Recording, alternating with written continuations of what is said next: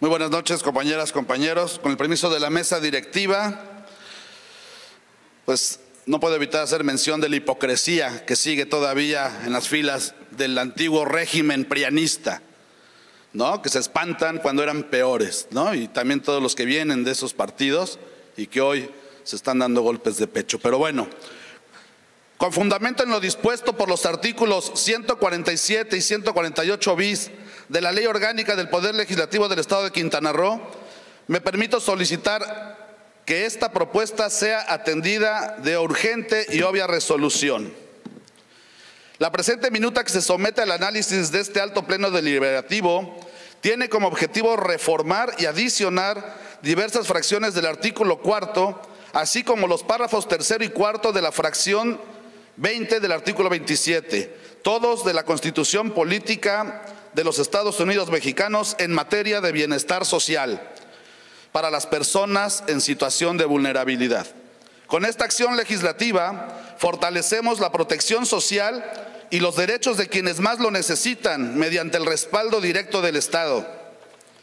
La minuta, al reconocer a nivel constitucional la importancia de la vivienda social, pretende garantizar un hogar digno y adecuado para todas y todos los ciudadanos, especialmente para aquellos en situación de vulnerabilidad económica al establecer que toda persona tiene derecho a disfrutar de una vivienda adecuada.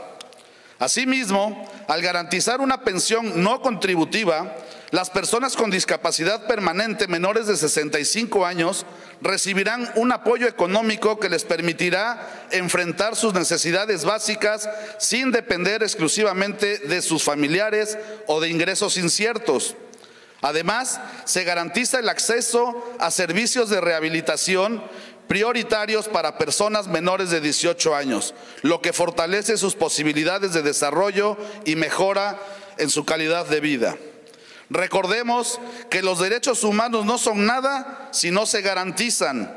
En este sentido, esta reforma asegura a las personas más vulnerables una vida digna en igualdad de condiciones desde la Constitución asegurando que vivan con condiciones necesarias para una vida plena y activa en la sociedad. Asimismo, mediante la presente minuta, se garantiza un trato justo y digno a las y los campesinos y pescadores, aquellos hombres y mujeres que durante años han trabajado de sol a sol para poner alimentos en sus mesas, pero que por gobiernos anteriores han sido ignorados y olvidados. Con esta reforma, el Estado reconoce su trabajo y les otorga un jornal seguro y permanente, fertilizantes gratuitos y apoyos directos para que puedan seguir cultivando y trabajando su tierra. Hoy nos encontramos en un momento histórico de suma importancia para México en el cual damos un paso firme en la protección de la ciudadanía, avanzando al México que todas y todos merecemos. Es por todo lo anteriormente dicho, y siendo que el presente tema resulta de suma trascendencia para la ciudadanía, resulta imperativo que la minuta sea tratada con la premura que le corresponde y sea votada de urgente y obvia resolución toda vez que garantiza el bienestar social de las y los mexicanos, siendo que con fundamento en el artículo 135 de la Constitución Federal, la presente honorable decimoctava legislatura es competente para darle el trámite que corresponde. Es cuanto.